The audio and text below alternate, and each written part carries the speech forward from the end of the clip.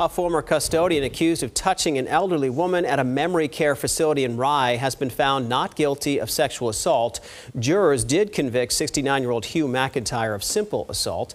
This coming after allegations that he took advantage of the victim's age and disability. Sentencing is set for December.